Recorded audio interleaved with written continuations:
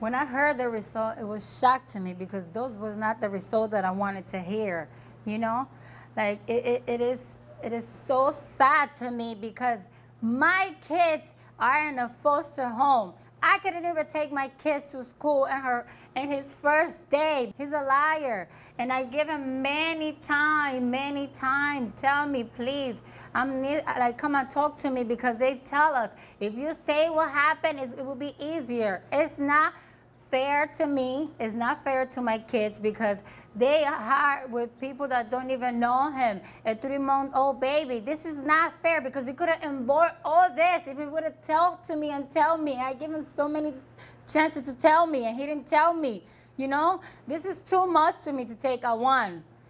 And he has to, I don't want him back. I don't know. I'm not sure about that because it's not fair to my kids what he did because he know as soon as he saw they took the kids, eh, speak up, do something because they tell us, if you know, if you know, talk about it, talk about it. Say it was a mistake, say this, but not just wait until this. Like, are you kidding me? Mm -hmm. No, this is not fair to my kids. It's not fair to my daughter that she's three months old and she's with somebody that don't even know him. That's not fair to them, you know? And this is so sad that I gave him my trust. Trust him and inside of him, he knows something is going on and he doesn't want to say it. We could avoid all this. Really? We on TV because of this? Really? He could have talked to me and tell me, baby, this is what I did. I'm sorry. This is something wrong. Like, come on, we didn't have to get all this, you know? So I'm so pissed off right now. I don't even know what to think. I don't even know what to say. You know why? Because my family was right. My family told me that something is going on, something was going on. But then I'm too stupid because I'm in love and then believing him, he would not do something to his daughter. I never thought it was him. Are you kidding me? I'm sleeping with a person that did something to my daughter and then he couldn't tell me whether it was a mistake or not. And then my kids are not with me and then I'm home with him. Do you think it's fair? No, that's not fair enough. I'm gonna call my lawyer and tell her what happened today.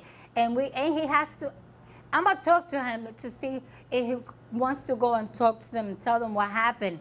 If he wants to do that. He doesn't want to do that, screw him. I'm calling the lawyer and we go from there. I just care about so much how my kids are feeling because I cannot, they just take my kids away from me and I couldn't tell them why.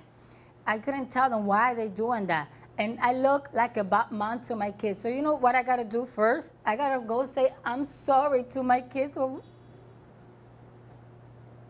oh, what they going through for something that I didn't do as a mom. So it make me look as a bad mom. Listen, nobody understand how I feel unless they've been through it because it's not fair that it's so embarrassing to go sit down and somebody supervise your visit with your kid, the one you have for nine months, the one you pushed out, you really think for somebody that know that did it and wouldn't say nothing, like we couldn't avoid this. This is, this is like, this is too much.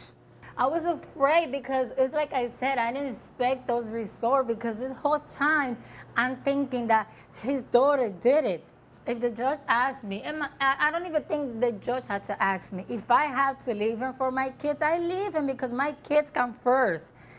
If you like what you see, all new episodes are coming and you do not want to miss out.